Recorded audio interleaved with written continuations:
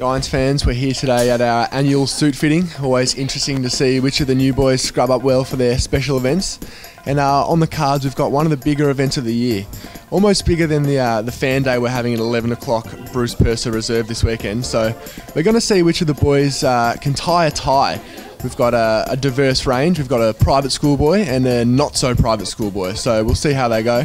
My money's on the, the private. All right, Aidan Corr, tell us what school you went to, mate. Uh, Viewbank College, a little public school down hometown where I'm from, Melbourne.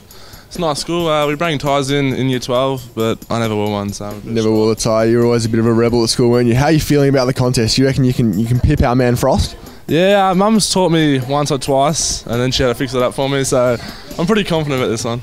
You're paying about twenty five dollars, mate. So uh, we'll see how you go. And Mr. Frost, the Wesley boy, representing all the the private school kids here at the Giants. How are you feeling about it, Frosty? Uh, yeah, look very confident.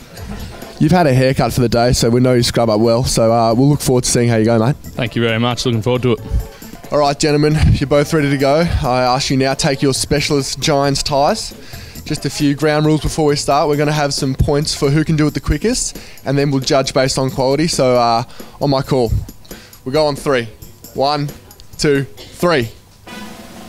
All right, Corr out for, for the speed early. Frost looks like he knows what he's doing. He's done this before.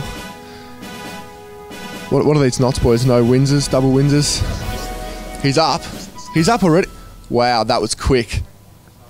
All right, uh, the the judging committee. Do we have a judging committee, or am I the only judging committee?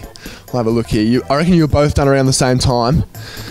It's hard not to be biased here, seeing as I was a private school boy myself. Frosty's tie does look a bit tighter.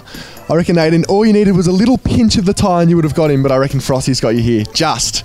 Plus, of course, this, this, mate, this can't be long. This can't be longer than the main body of the tie. But having said that, you both look fantastic in your Giants ties and you've been great competitors, so thanks for coming on. And just when I thought we were a wrap, Aidan Corr's come to the uh, the board, myself, and put in a formal complaint. He thinks he was stitched up there, so uh, we'll let you guys have your say. Head to the Giants fan page on Facebook, and we'll have an official poll up there, so you guys can uh, can tell him if he's, he's been stitched up or not. And on that note, uh, we'll all be down at Bruce Purser Reserve this Sunday at 11 o'clock for the Giants fan day. It's going to be a fantastic day. All the players will be there, so we're looking forward to seeing as many of the Giants fans there as possible. Thank you. There you have it. Perfect.